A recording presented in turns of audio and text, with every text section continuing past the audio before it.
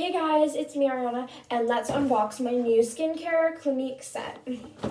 So first of all, let's just open up the box, and the thing to know about this Clinique set is that there's a travel size and a non-travel size, so you can like bring it anywhere and do this anytime. So first we've got the travel set. We've got the um, gel, the the moisturizing gel.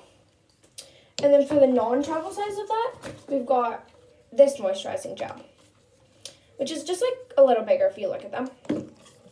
Then we've got our clarifying lotion exfoliator, non-travel size. So it's like really different. And then for this, we've got the cap, I'm guessing.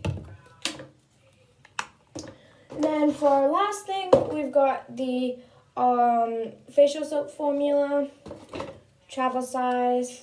Like,